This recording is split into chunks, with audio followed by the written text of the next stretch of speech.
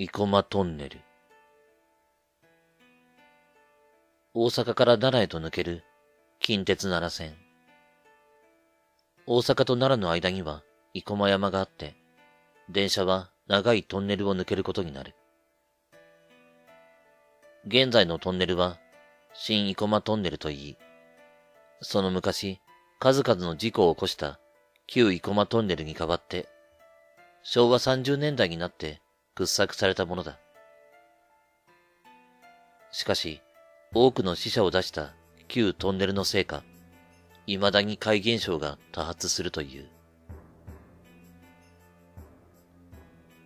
私は昭和21年に、旧生駒トンネルで発生した車両の火災事故に、実際に遭遇した人物の話を聞いたことがある。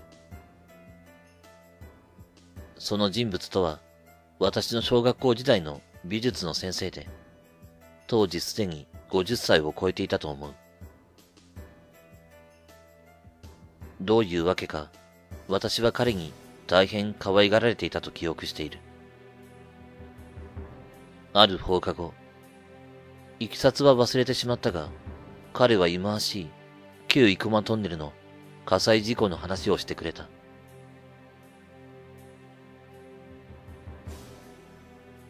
戦後間もない頃のこと。大阪から奈良へ向かう彼を乗せた近鉄電車が、旧生駒トンネルの中ほどまで差し掛かった時だった。上り急勾配の難所に、旧式のモーターが耐えられず、突如発火した。古い車体はあっという間に炎に包まれ、乗客はパニックに陥った。暗いトンネルの中を我先にと逃げ惑う人々。電車は奈良川の出口まであと少しのところで止まっていた。当然、大多数の乗客がより近い奈良川の出口を目指して坂を登っていった。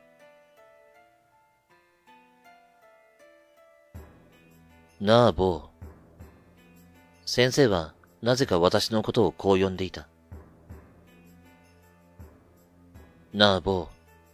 どんな時も落ち着かなければあかんよ。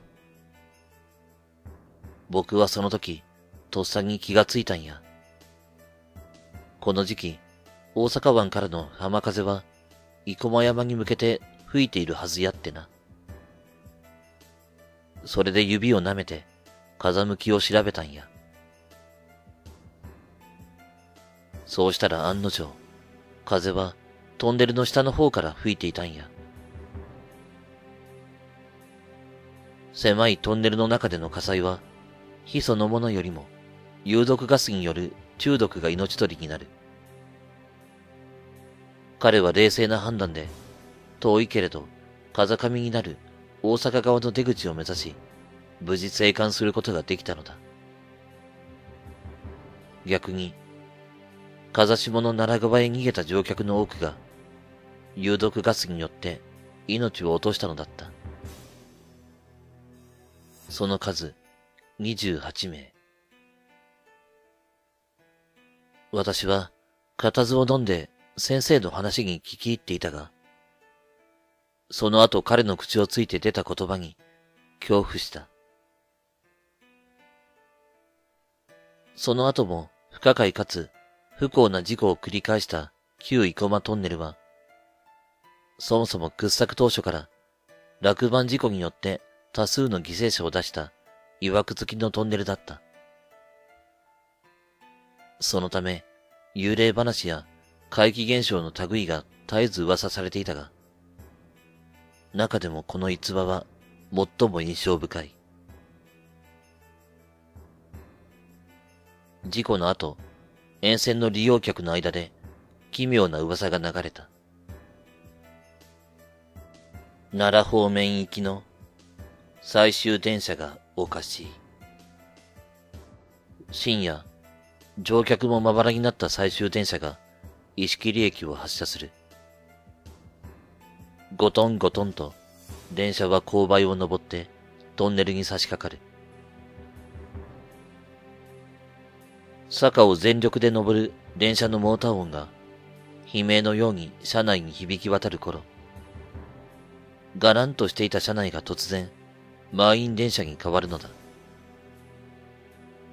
窓という窓に無数の人影が映る。連結部分のところに佇む男。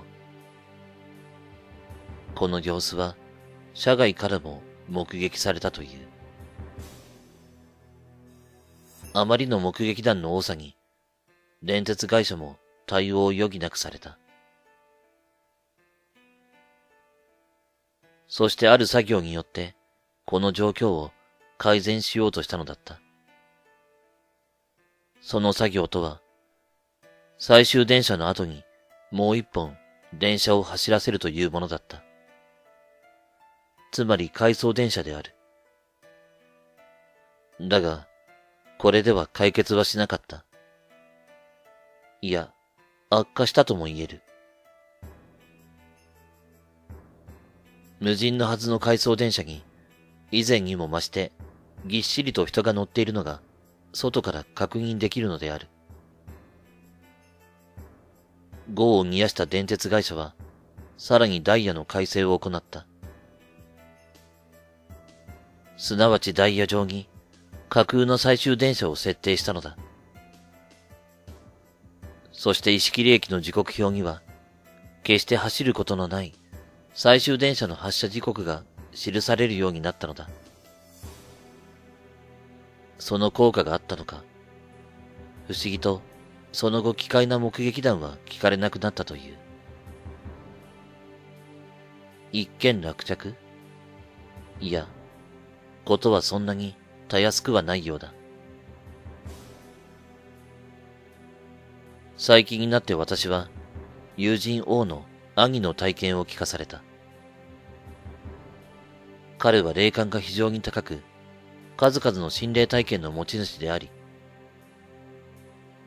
彼は通勤でいつも近鉄奈良線を利用しているのだが、毎日のように悩まされているというのだ。彼曰く、ラッシュで満員の電車内で人の話し声がする。もちろん乗客も喋っているんだけど、何か違うんや。あれは異次元の声や。想像してみてくれ。ヘッドホンの左右から別々の会話が聞こえるとしたら、まさにステレオ状態なんや。ただ、片方の声ははっきりと意味がわかるのに、もう一方は全く聞き取れない。うわわわわわわわって言っているだけなんや。現在では、旧生駒トンネルは閉鎖され、電源施設などに再利用されており、入り口は立ち入り禁止となっている。昼間でも山肌に黒々と口を開けたトンネルの様子は本当に不気味である。ただし、奈良川の出口は現在の近鉄東大阪線のトンネルと共用されているようなので、大阪向きの先頭車両からは覗くことができるかもしれない。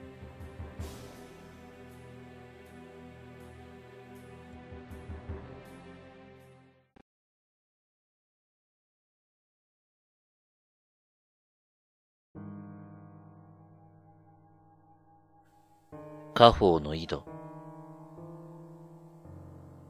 祖父から聞いた話私の祖父は10歳の時実家にあった開かずの蔵を開けてしまったことがあるそうです。祖父の実家は奈良県で、代々拝み屋をしていたそうで、祖父も幼少の頃から後を継ぐための修行をさせられていたそうです。その蔵の中には、家宝の古い井戸があり、普段は鍵をかけて封印していたそうですけど、その日は前日に祖父の父が家宝を使って鍵をかき忘れたため開いていたそうです。祖父は、蔵の中にある家宝の井戸は危険なものだから蔵の中には入ってはいけない、と言い聞かされていたのですが、好奇心に勝てず、蔵の中に入ってしまったそうです。中には聞かされていた通り、古い井戸があり、その井戸を囲むように鳥居が三つ立っていて、それぞれの鳥居の下には、剣が一本ずつ祀ってあるそうです。日本刀のような刀ではなく、剣だったそうです。祖父は、家宝の井戸の中はどうなっているのかを確かめたくて、蔵に入ったそうです。というのも、家宝の井戸は、自分たちには払えないものや、危険なものなど、手に負えないものを吸い込んでくれる井戸だと聞いていたからだそうです。祖父が、自分は修行しているから大丈夫、と自分に言い聞かせながら、鳥居の内側に入った瞬間、うごー、激しい音？いや、方向でしょうか。それとともに、井戸に引っ張られたそうです。体ではなく、中身が引っ張られると、祖父は言っていました。祖父は慌てて韻を組み、祝詞を上げて逃れようとしたのですが、まだ10歳で修行中の祖父は、その場に踏みとどまるだけで精一杯、動けなくなってしまったそうです。そして長い時間耐えて、体力も限界になり、もうダメだ。吸い込まれる。そう思った時、祖父の父が駆けつけて、祝詞をあげると、祖父は鳥居の外に弾き出され、そのまま気を失ってしまったそうです。その後祖父は、霊力がほとんどなくなってしまって、後を継ぐことができなくなり、25歳の時、両親と喧嘩別れをしてしまったそうです。祖父の話だと、家宝の井戸は先祖が作ったもので、その井戸を持っているから代々拝み屋をしてきたそうです。家宝の井戸は、もともと力を手当たり次第吸い込むもので、何も知らずに近づくと、人間の命も吸い込んでしまうそうです。祖父がしていた修行も、ほとんど井戸を使いこなすためのものだそうで。祖父は、いろんなことがあったけど、あの井戸から離れることができてよかった。そう言っていました。現在祖父の実家とは全く付き合いがありませんし、祖父もこの話をするときは必ず酒が入っていたので、真実かどうかはわかりません。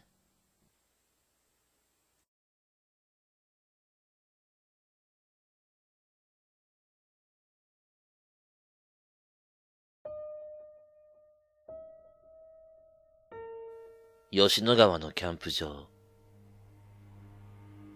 小学校5年生の夏、奈良県の吉野の方が母の実家なんで、帰省を兼ねて家族で遊びに行った。普通だったら実家に連泊するんだけど、その夏はキャンプ道具を一式持っていたんで、吉野川の流域のテントを張れるところで、キャンプをして遊ぼうという計画になった。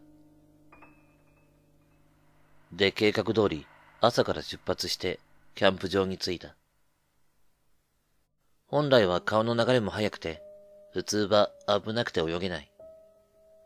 ところがキャンプ場のところだけは、せき止められたようになっていて、ちょうど小学校の行動の半分くらいの面積のところが、池みたいに流れもほとんどなく、着いた頃には、川岸というよりも、その池の岸には、中学生の団体らしき先客がいて、人工プールのようになっていた。水深は2メートルぐらい。ちなみに俺は2キロくらい泳げた。早速テントを立てて、水着に着替えて泳ぎ出した。しばらく泳いでいたが、青い空を見た途端、ふっと意識が遠ざかって、俺は動けなくなって沈んだ。親父が飛び込んで助けてくれて、俺は事なきを得た。その夜テントの中で、お前どうしたんだ？心臓も悪くなんかないのに、と父が聞いた。いや、わかんない。あんなの初めてだし。なんか変な気分だった。とりあえず水泳は中止して、別のところでまたテントを張った後、母の実家に戻った。お帰り、疲れたかい？と、おばがねぎらってくれたが、新聞を読んでいたおじが、おー、〇〇で子供が溺れて死んだってさ、と言った。えー、と、おばがそれにこうした。記事を読んでいると、ちょうどサマーキャンプで川遊びをしていた団体の子供が、水泳中に溺れて誰も気がつかず、翌朝発見されたらしい。それは、俺がちょうど溺れた場所で、日時も同じだった。こいつも、そこで溺れよったんや、と、父が言って。お前、足引っ張られたんと違うか？と、俺に冗談めかして言った。おじは、あそこは三つの流れが入ってきてるやろ？その温度差で人間の体がショックを受けることもあるらしいで。ひとしきりその話をした後、別の話題へと変わっていった。偶然ということもあるかもしれない。おじが言ったように、環境的なこともあるかもしれない。でも、あの時見た青い空には、今思い出しても、不気味さと不思議な寂しさが入り混じったノスタルジーを感じる。俺は気がつかなかったが、その時本当は俺の真下に沈んでいて、俺を引っ張って助けを求めたのかもしれない。またそうでなくて全く偶然だとしても、溺れた子もあの青い空を見たんだろうか。もし見たのなら、それがその子にとって、最後のこの世での風景だったに違いない。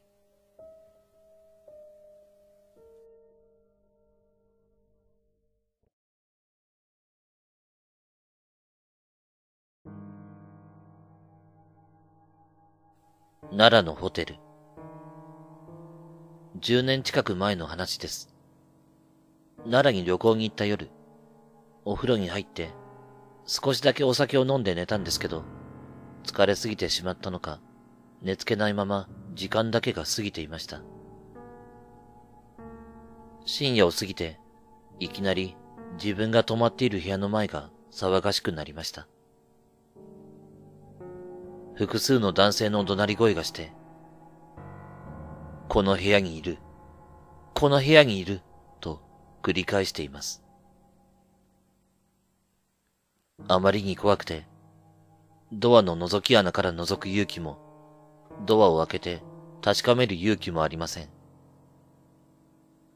恐る恐るフロントに電話をして、ドアの前で人が騒いでいると伝えました。フロントから折り返し電話がありました。今お部屋の前まで伺いましたが、誰もおりませんよ。電話をしている今その時も、まだ男の声はガンガンしていました。怖くなって、布団を頭までかぶって、無理やり目を閉じました。あの時、覗き穴から覗いたり、ドアを開けたりしていたら、そう思うと、未だにホテルは怖いです。それ以来、奈良には怖くて泊まれません。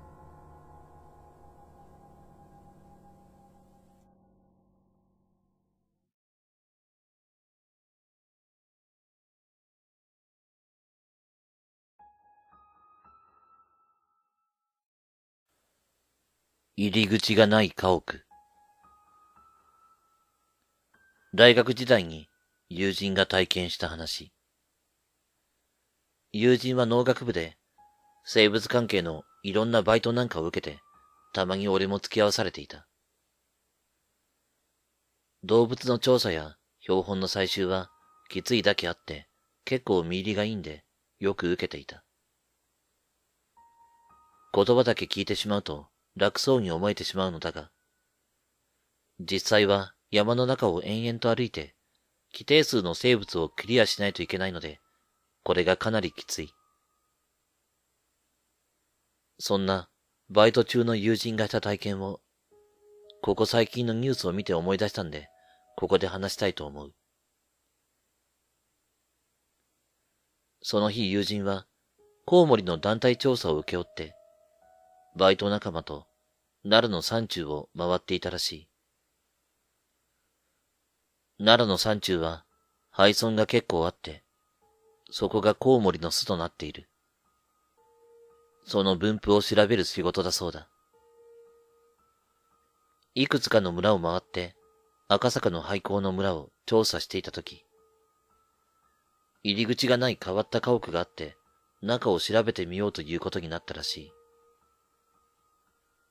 その家は古い日本家屋で、なぜか全面塗り壁で覆われていて、窓もなかったそうだ。住民が村を離れるとき、扉を塗りつぶしたんだろう。そう思ったと友人は話していた。薄い壁を壊して友人たちが入ると、驚くことに、そこには人がいた。八畳くらいの板の間で、真ん中に寄り添うような形で、子供が六人座っていたそうだ。不思議と恐怖感はなかったらしい。そばに寄って話しかけていても、うつむいて黙っているばかりで、最初は人形かと思ったという。スーパーで売っているような T シャツを着ていて、髪はボブくらい。薄暗い部屋だったんで、性別はわからなかったという。何度か声をかけていたら、どこから入ってきたの？という質問に対して、部屋の奥を指さした。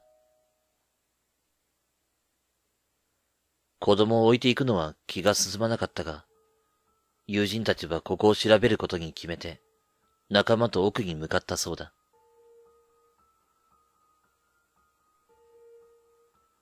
奥は暗くて、懐中電灯を使って進むと、玄関らしき場所に出た。引き戸を引いてみるが、当然塗り固められているから開かない。いろいろと調べてみたら、土間に最近のものらしい複数の大人の足跡を見つけたそうだ。あの子供たちは、大人が連れてきて閉じ込めたということになる。友人たちは、これは何かまずいのではないかと思い、慌てて先ほどの部屋に引き返したそうだ。だがそこには誰もいなかった。自分たちが開けた穴から出たのかなと思って、外も探してみたらしいが、どこにもいなかったそうだ。バイト仲間が、もう一度中を探してみようと言ったのだが、あれ、生きた人間だったと思うか？と尋ねたら、もう何も言わなくなったそうだ。結局、中を調べることはせず、友人たちは帰った。最近、いろんなニュースを見ていて、この話を思い出した。やっぱり友人たちが見たものは、生きた人間なんじゃないだろうか。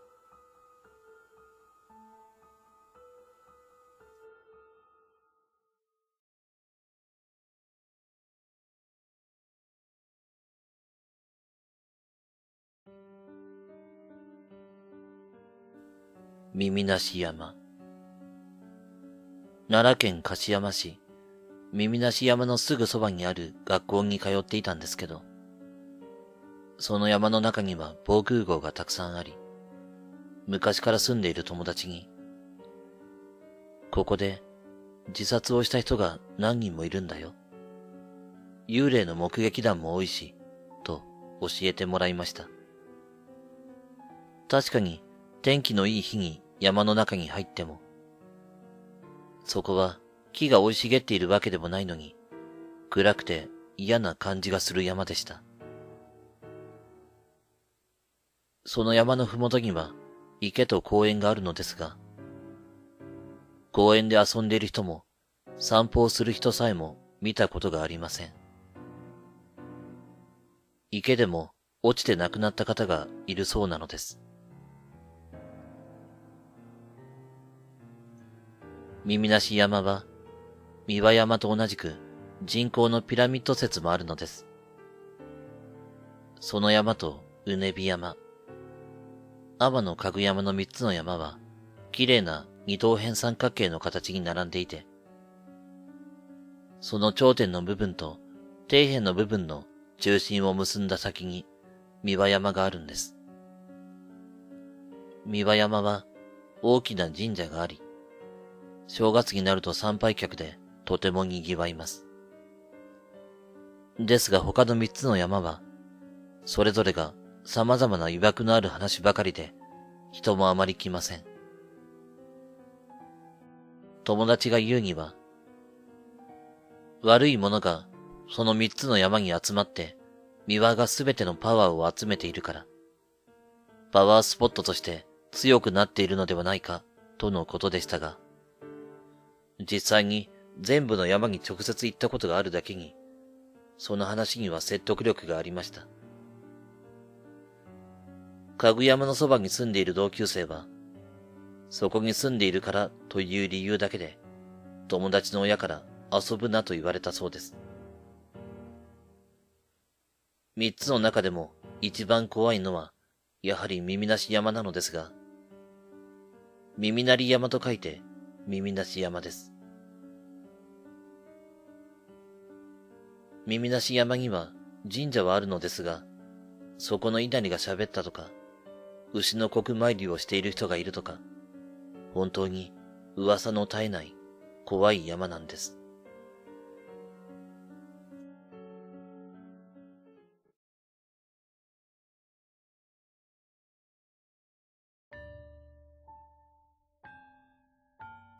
奈良の学校での体験。今から18年前のことです。私は奈良県奈良市にある某小学校に通っていました。当時、小学校6年生の夏休み前の暑い日の登校時間に起きた不思議な体験です。私の学校はよくある形の階段です。当時小学校6年生だった私の教室は最上階にあって、朝から段数の多い階段を手すりにもたれかかるようにしてだらだらと登っていました。私が利用した階段のある場所は、薄暗く、窓からの光で、ほんのり明るくなるような場所でした。階段を上がっていくと、平成〇〇と卒業生寄付と書かれた大きな鏡があります。私はその階段をうなだれるようにして上がっていくと、ちょうど下から見上げる形で鏡の場所に差し掛かりました。すると鏡には、次の回の踊り場で帽子をかぶって、黒いランドセルを背負って、傘を片手に持つ男の子のシルエットが、こちら側を向いてじっと立っていました。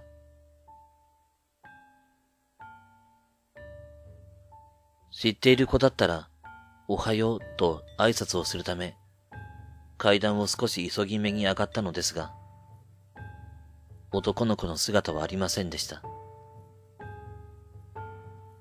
不思議に思いましたが、その日は何もなく、学校を終えて帰宅しました。それでもなぜか気になっていたので、自宅に帰って考えてみたのですが、どうもおかしいのです。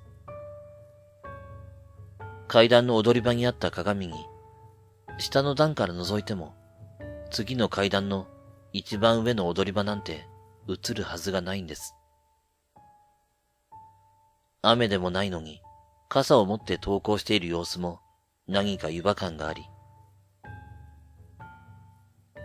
次の日同じように階段を上がって、同じ場所で鏡を確認してみたのですが、やはり鏡に映るのは階段の途中であり、上の階の踊り場なんて見えません。前の日のことを思い出し、ぞっとしました。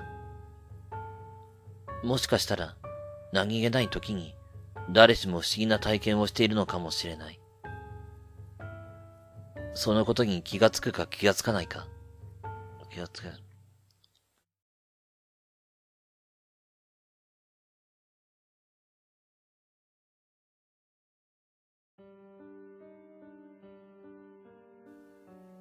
富代駅。私は奈良の富代というところに住んでいて、大阪から帰るときは近鉄電車を利用します。大学生の頃、神戸の方まで通っていました。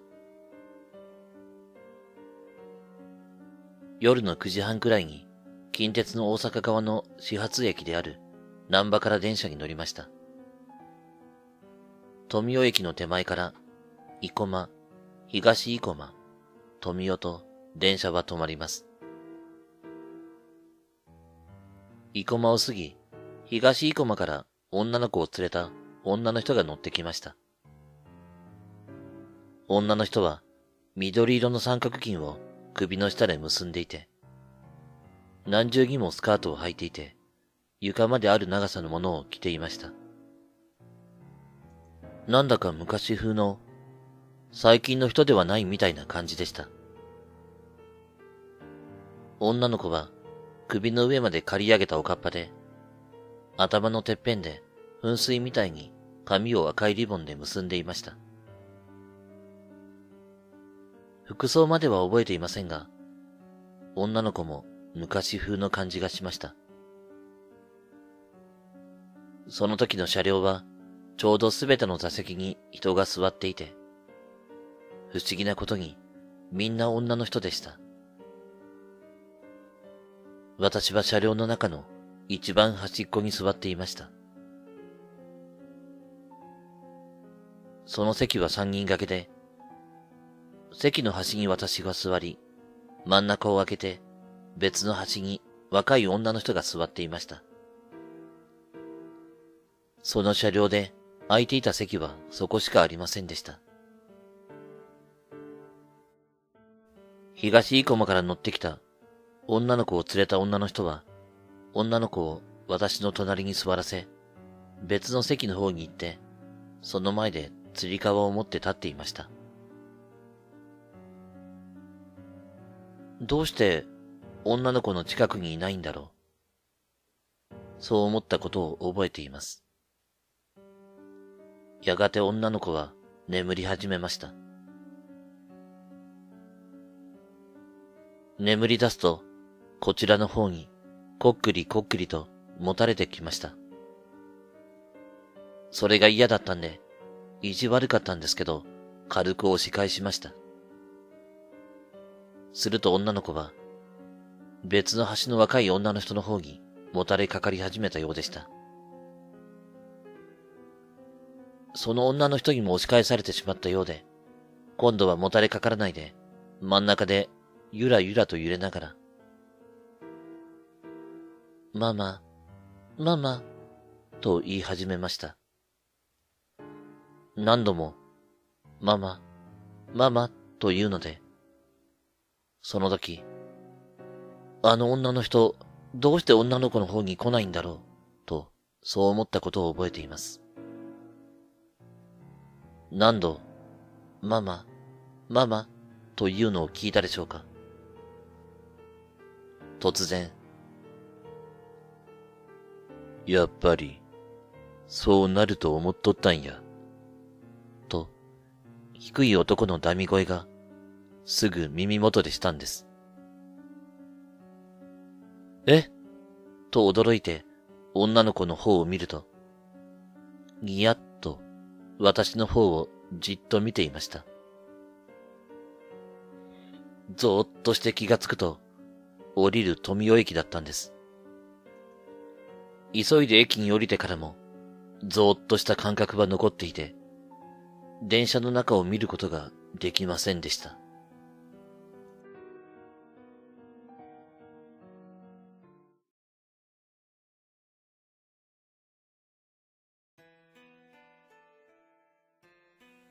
同級生。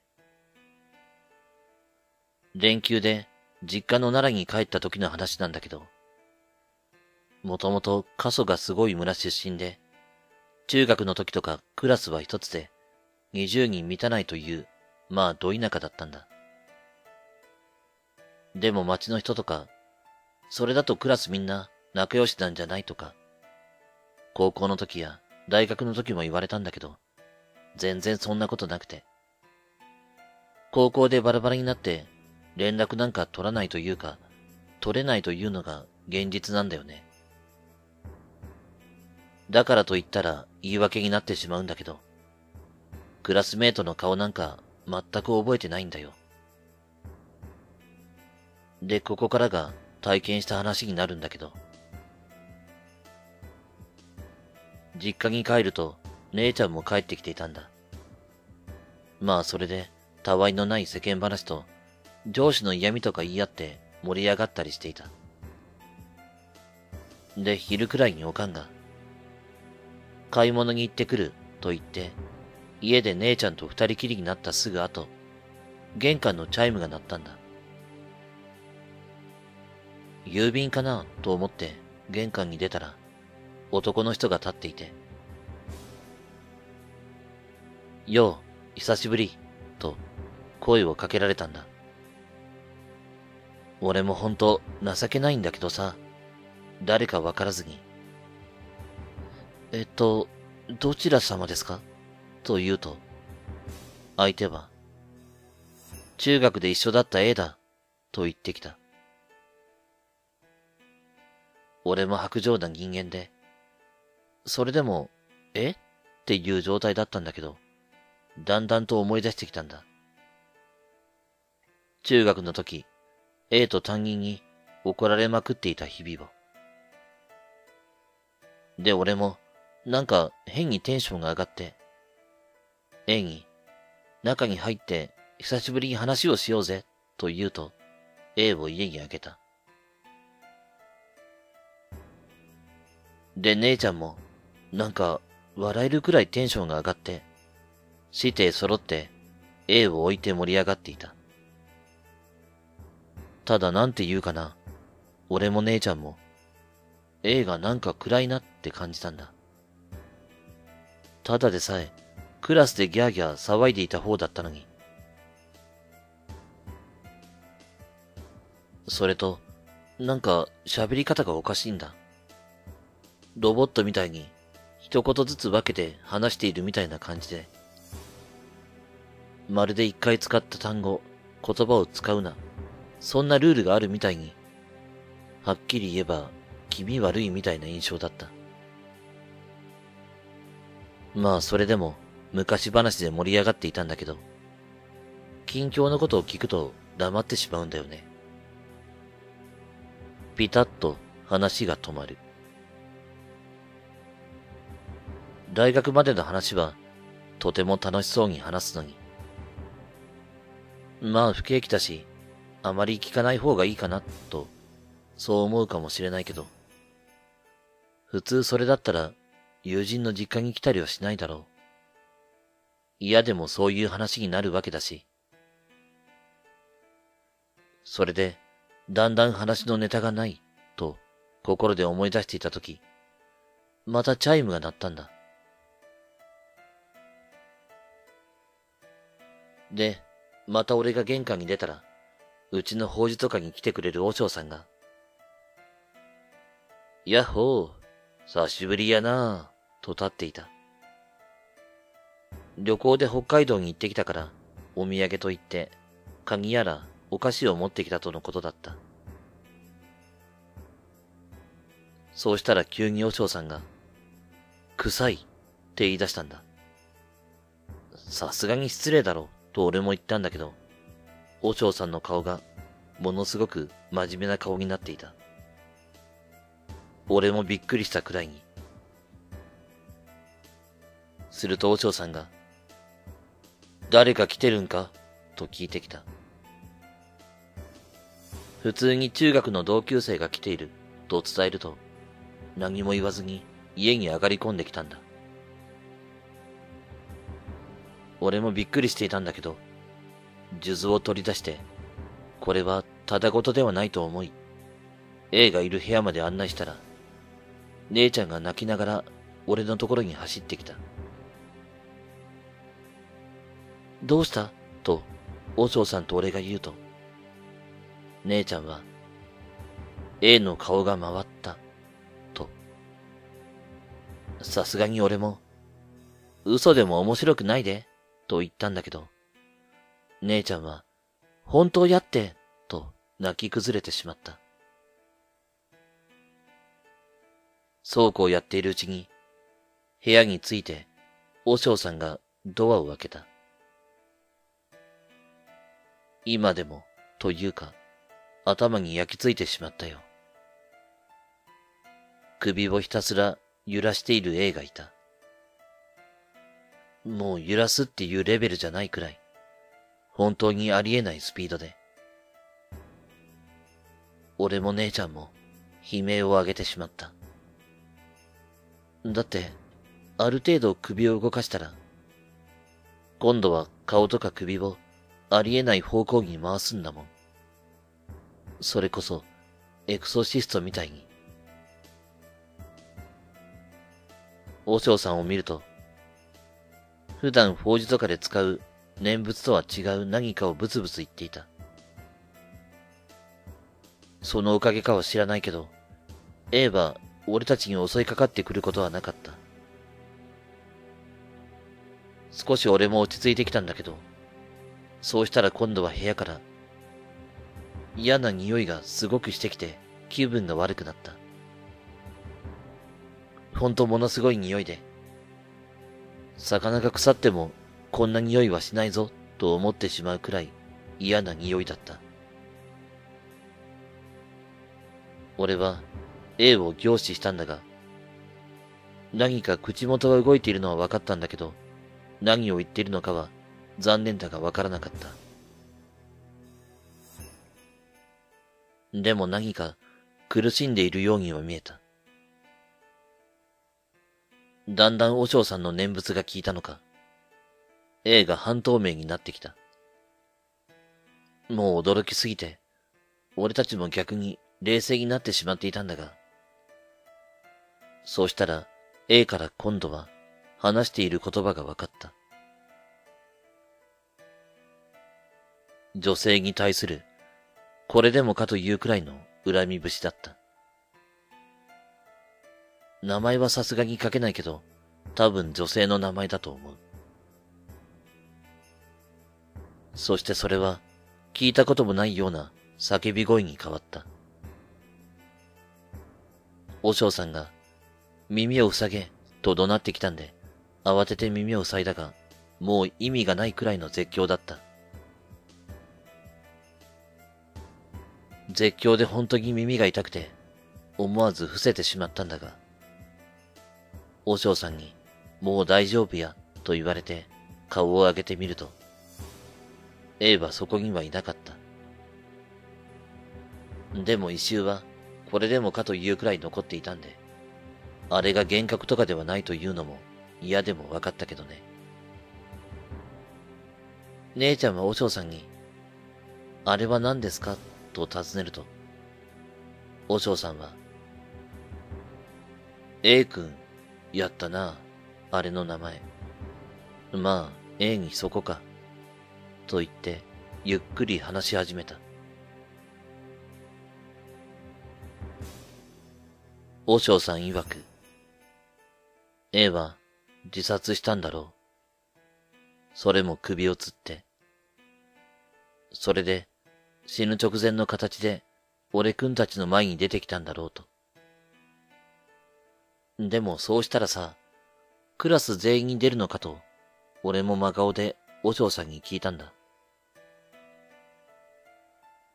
自殺をするとき、本当は死にたくない。止めてほしいという気持ちが A にはあったんだろうな。その止めてほしい人が君だったんだろう。お嬢さんはそう言った。そうこう話しているうちに、おかんも帰ってきて、結局お嬢さんも話をあっさり切り上げて、それで帰ってしまった。帰る間際、今日のことは気にするなと、A のことはもう忘れろとのことだった。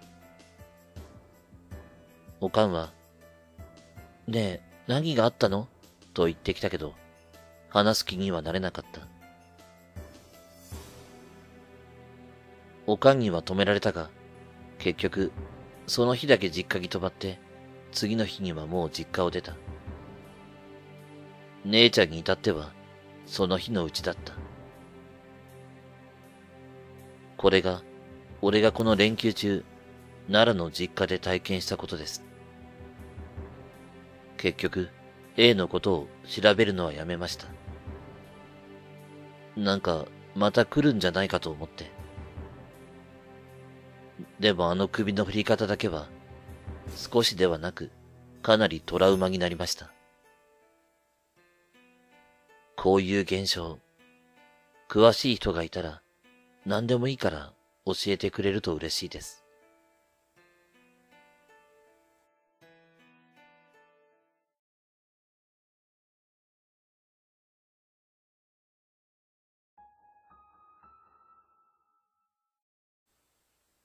ダムで取り憑かれた。私ともう一人の A は高校時代の友人で、久しぶりに会って食事をした後、ドライブに行くことになりました。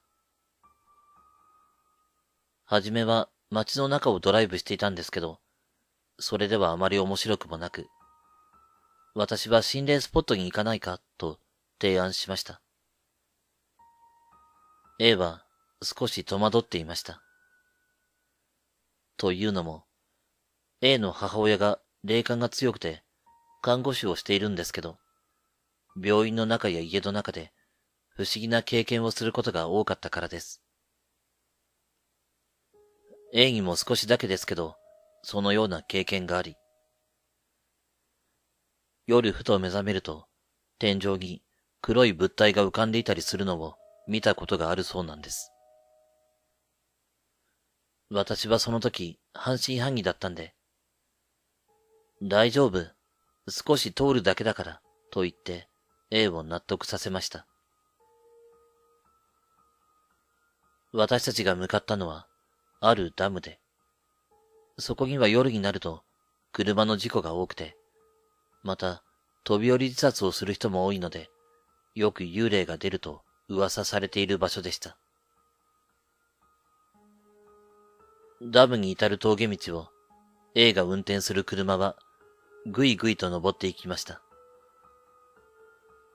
夜の9時頃で車の通りは少なく、たまにすれ違う程度でした。ダムをさらに登ると、私は、ほら、何もなかったでしょ？と A に言いました。A はうなずいて、さらに峠を登っていきました。道の先にはトンネルがありました。私はさすがに、もう引き返そうかと言ったんですけど、A は無表情で、あかんねん、あかんねん。私は何がダメなのかと聞きましたが、帰ってきた言葉は、あかんねん。この先に行かないと、あかん気がすんねん。私は、背筋が凍るような感じがしました。A に必死に戻ってくれるようにと言いましたが、どうしても聞いてくれません。そしてトンネルに入った瞬間、私は息が詰まるような気がしました。後ろに誰かがいる。私は泣きながら A の方を叩きました。相変わらず、後ろに何かがいる。でも怖すぎて振り向くことができない。そしてようやくトンネルを抜けると、A がガタガタと震えながら、しばらく走って停止できそうな場所で止まりました。後ろには誰もいませんでした。A に聞くと、後ろからこっちに来いって声が聞こえてきて、バックミラーを見たら女の人がいた、と言っていました。私たち二人は戦慄して、帰りは別の道を通って帰りました。後から聞いてみると、やはりそのトンネルでは心霊現象が多くて、事故を起こした車も多かったそうです。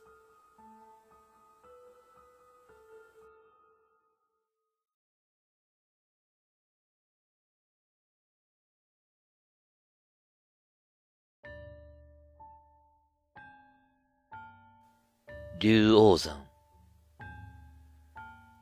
ざっと14年くらい前の話。俺は奈良の天理市ってところに住んでいたんだけど、当時5歳の俺は保育所に通っていたんだ。で、保育所の遠足で、天理市と桜井市の境目にある竜王山ってところに行ったんだ。この竜王山というのが、奈良のハイキングガイドブックに載るくらいの山でさ。標高も590メートルくらいだし、道も穏やかだし、さらに城跡まであるっていうところだったんだ。ここからは昔話になるけど、その城というのが、東地市っていう豪族が建てた城なんだ。まあそれなりにすごい城らしかったんだけど、戦国時代になって攻め滅ぼされて、上司や兵士が燃え盛る城と一緒に恨みを飲みながら焼け死んだっていう史実があるんだ。それから山の周りの村々で怪奇現象が起こるようになったらしい。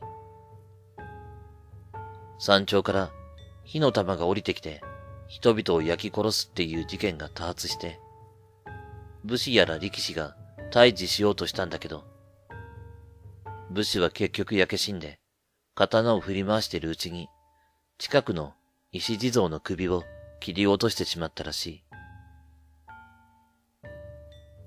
力士は山に登ったっきりで、村人たちが見に行くと、雲の巣でがんじがらめにされて亡くなっていたらしい。村の人々は、ジャンジャンビって言って恐れたらしい。今でも武士が切った地蔵が史跡として残っているっていう、そんな場所なんだ。それで山登りが始まったんだけど、どうも友達の様子がおかしい。ずっと周りをキョロキョロして落ち着きがなかった。まあ不思議だなとは思いながらも、山頂近くの城跡まで行って、そこから自由行動だったんで、友達と遊んでいたんだ。遊び始めてちょっとしたら、何人かの友達が気分が悪いって言って休み出したんだ。結局、2時か3時くらいで切り上げて帰ることになったんだけど、はじめにキョロキョロしていた友達が行方不明になっていた。みんなで探したら、近くの森の中にポツンと立っていたらしい。みんな怖がって、急いで下山しようということになった。で、下山をするとき、ふと城跡の方を見たら、黒い人影が20体から30体くらいこっちを見ていたんだ。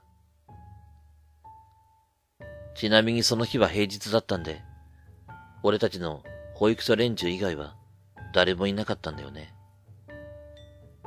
キョロキョロしていた友達の話では、山に入った時から怖い人たちがこちらをじっと見つめていたらしい。そして遊んでいて気がついたら森の中にいたらしい。これが俺の体験。ちなみに家に帰った後、原因不明の高熱で倒れて3日ほど寝込んだ。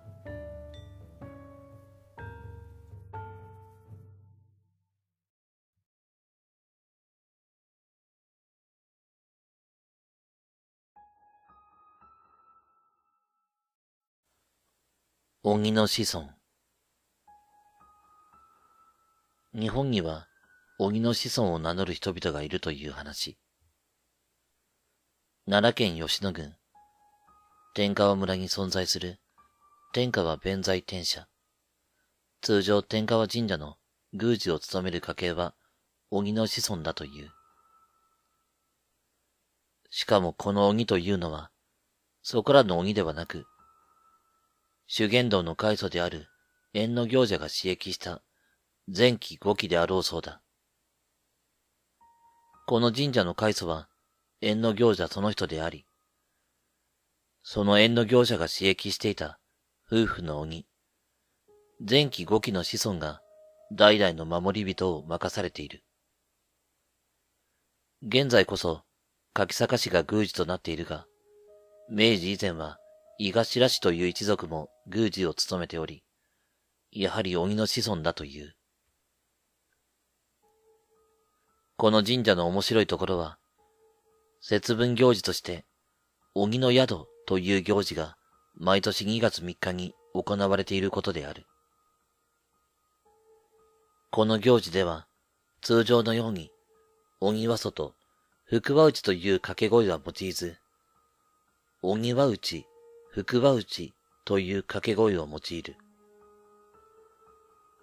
鬼は内という掛け声を用いる節分行事は、岸母神なんかを祀る神社には結構見受けることができるが、鬼の子孫による鬼を迎え入れるための節分行事は、ここ天川神社を置いて他に例を見ない。ちなみに、節分で追い出された鬼をかくまっている地域なら結構ある。群馬県の藤岡市や、茨城県つくば市などがそうである。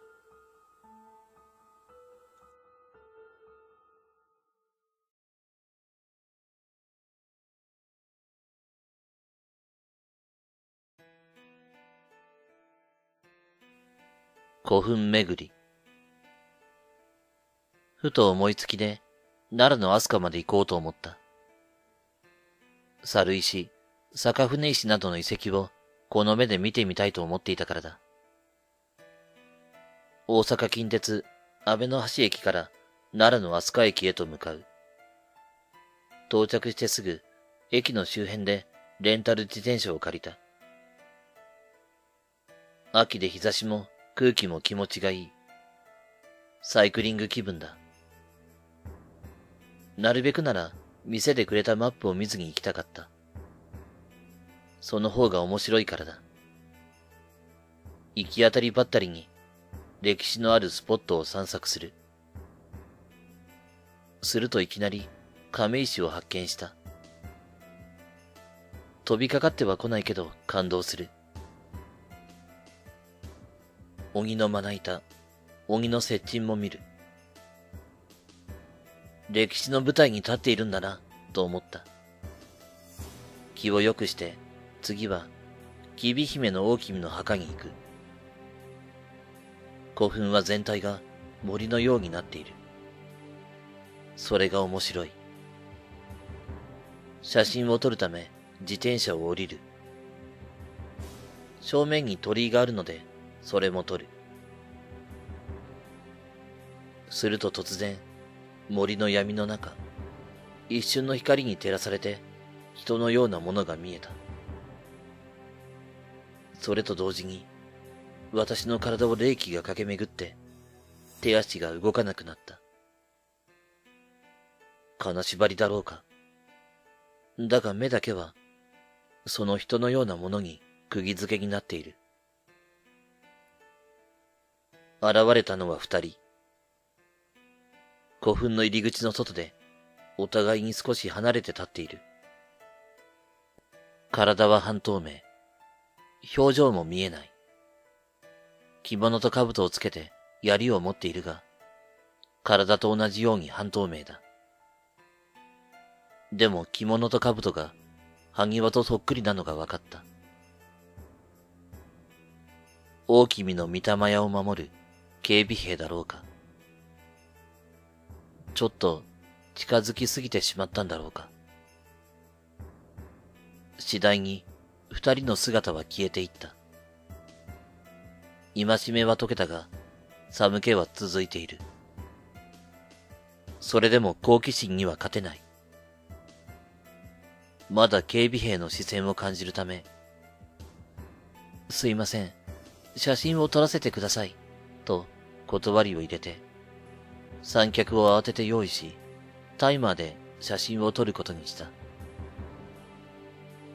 だが、三脚ごとカメラが倒れた。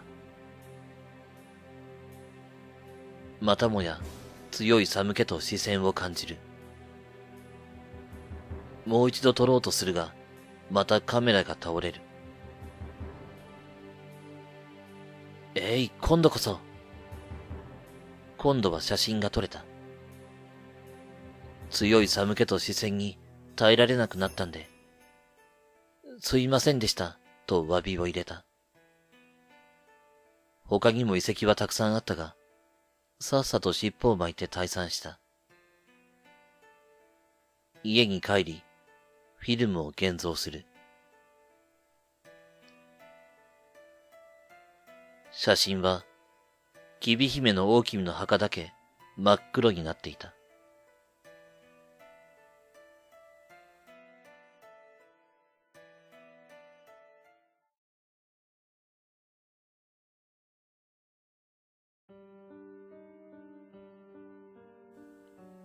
天理ダム。学生の頃、友人4人と一緒に奈良県にツーリングに行った時のことです。有名な心霊スポットがあると聞いて、川で遊んだ後、天理ダムに行きました。そこにはトンネルがあって、日常生活でも使われるような普通のトンネルでした。しかし夜になると何かが起こるという話を聞いていたので、半信半疑で僕たちは順番に通ってみることにしました。最初に僕が通って、途中でバイクから降りて歩いたりしましたけど、何も起こらなかったので、友達のところに戻りました。その後も、2番目、3番目の友人も同じことをしましたが、特に何も起こらず、僕らは帰ろうとしたその時、最後に行こうとしていた友人が、トンネルから何かが聞こえたと言い出して、一人で見てくると言って、バイクでトンネルに入っていきました。するとエンジンの音が急に聞こえなくなって、僕たちは中に入っていた友人に、おい、大丈夫か？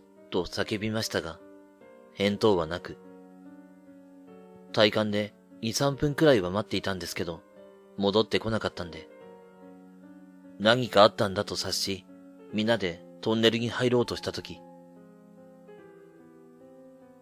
青ざめた顔で友人がバイクで帰ってきたので、どうしたんだよ？と聞いてみると、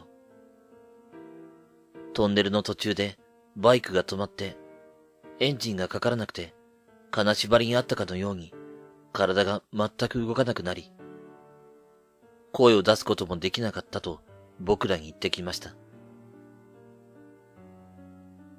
その話を聞いて怖くなって、逃げるかのように友人たちとバイクに乗り帰っている時です。最後にトンネルに入った友人のバイクが、急にブレーキが効かないと叫び出し、バイクはかなり加速していきました。10秒くらい経った後、ブレーキが治って普通に戻りました。夜中で大通りだったこともあり、事故にはなりませんでしたが、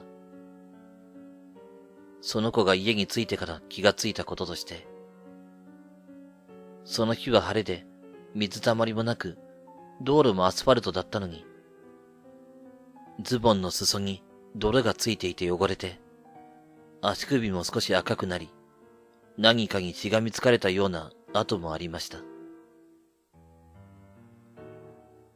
それから僕たちは、一切そのダムには近寄ることはなくなりました。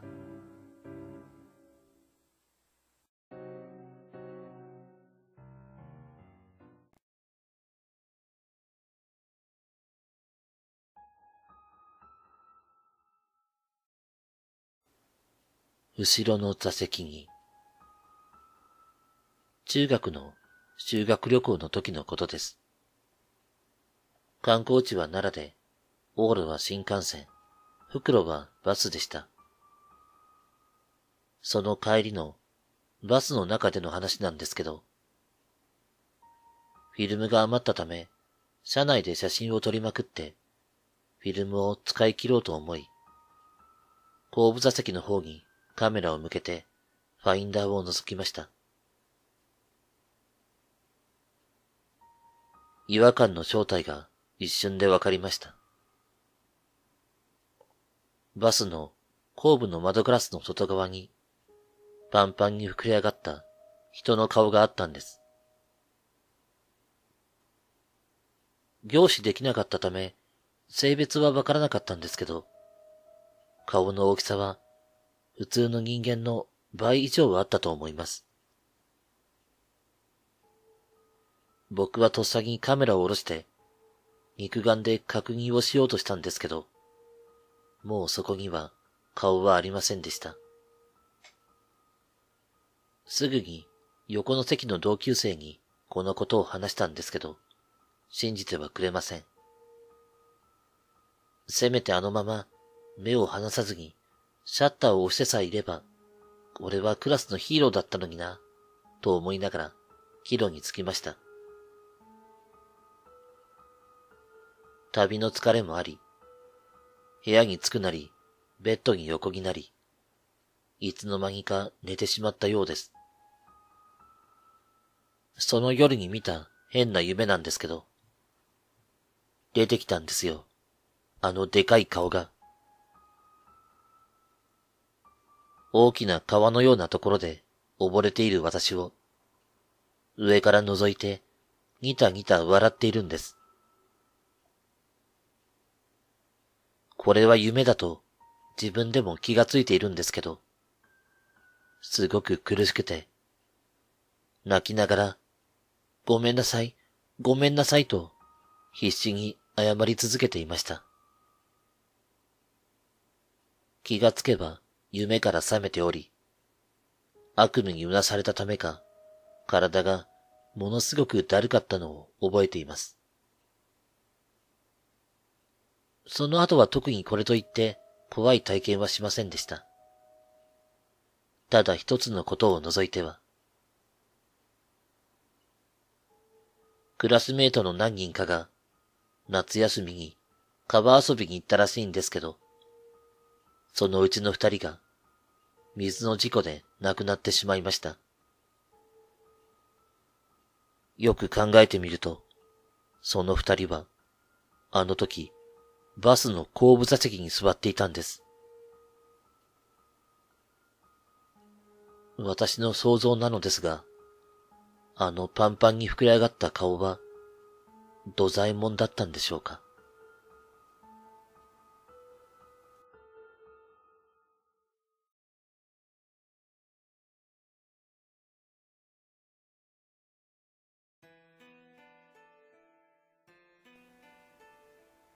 深夜の学校。僕には、未だに忘れることができない不思議な体験があります。今から7年前の秋の出来事です。仕事を家に持ち帰った僕は、その夜、自分の部屋で書類の山と格闘していました。ようやく半分ほど片付けたところで、時計を見てみると、すでに夜中の一時を過ぎておりました。僕は気分転換のため、ぶらりと夜の散策に出かけることを思いつき、寝静まった家族を起こさないよう、ガレージから自転車を引きずり出しました。深夜の国道170号線をひたすら南へ下って、途中近鉄の古市駅に差し掛かったところで東に折れ、聖徳太子ゆかりのお寺があることで有名な奈良県太子町の方向へと自転車を進めました。大きな橋を渡ると、辺りは漆黒の闇に包まれました。ぶどう畑が広がる田舎道をひた走り、心地いい風を全身で受けていると、仕事の疲れが一気に消えていくようでした。やがて、古い木造家屋が密集する小さな集落へと入り込みました。この辺りでそろそろ帰ろうかなと心細くなってしまったため、元来た道を引き返そうとしました。ところが、どこで道を間違えたのか、遅く曲がりくねる道を行き来するばかりです。ようやく集落の中から抜け出ると、突如目の前に大きな建物が現れました。それは小学校でした。静まり返った通学路に沿って道路工事を知らせる赤いランプが不気味に点滅しておりました。そのおぼろげな光が人気のない校舎を淡く浮かび上がらせておりました。僕はそのまま学校の前を素通りしようとしました。ところが、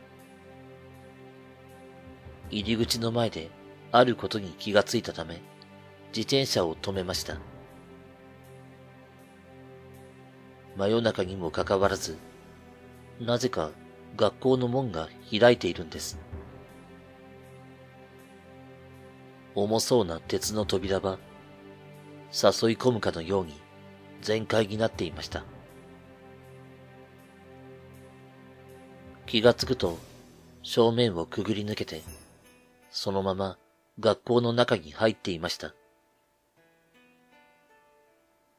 入り口のすぐ左には、三階建ての鉄筋の校舎がそびえ立ち、校舎へと続く道に冷たい影を落としていました。その影の中に、青色のジャングルジムがポツンと佇んでいました。ジャングルジムの横で自転車を止めると、目の前に広がる真っ暗な校庭を見渡しました。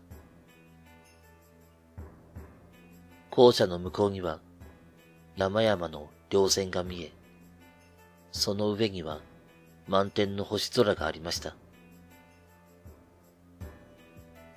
それをぼんやりと眺めているうちに、無断で学校に侵入してしまっている自分にようやく気がつき、急いで学校を出ようと自転車の向きを変えました。その時、突然、鋭い視線を感じ、その方向へと顔を向けました。すると、真横にあるジャングルジムに鈴なりになってしがみつく五六人の子供たちの姿があったんです。彼らはまるでマネキン人形のように身動き一つすることなくこちらをじっと睨みつけていました。瞬時にごめんなさいと心の中で叫びました。見てはいけないものを見てしまったという、言いようのない恐怖感がこみ上げてきたからです。そしてすぐに視線を外すと、脇目も振らず正門を出ました。少し離れたところで自転車を止めて、あれは一体何やと胸の中で問いました。幾分冷静さを取り戻し、今一度学校の前まで引き返しました。ですが、子供の姿はありません。ふと腕時計を見てみると、午前2時過ぎ。我に帰った僕は、急いで家に帰りました。次の日、この話を友人に話しました。一生に付されると思いきや、いくらなんでも夜中の2時に子供は遊べへんで。だいたい学校の門を開けたままにするなんて考えられへん。それ、幽霊に違いない。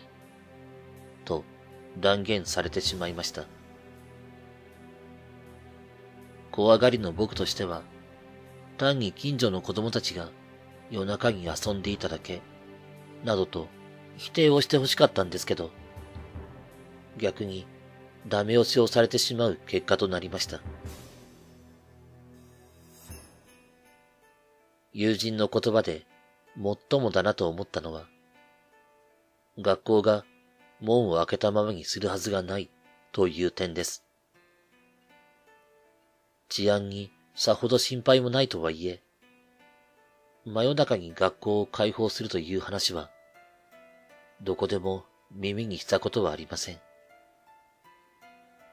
それだけにあの夜、誰が何の目的で正門を開けていたのか、未だに理解ができないのです。もう一つ、釈然としない点があります。それは、こちらを向いていた子供たちの表情が、どうしても思い出せないということです。服装については、かなり鮮明に残っているものの、彼らがどのような表情を僕に投げかけていたのか、それがものの見事に記憶から抜け落ちているんです。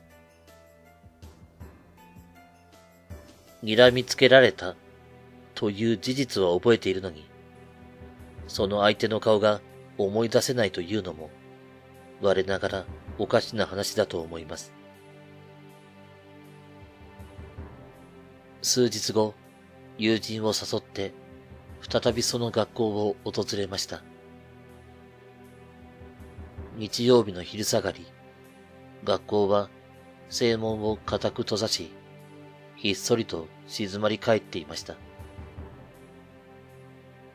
その際、新たな発見をしました。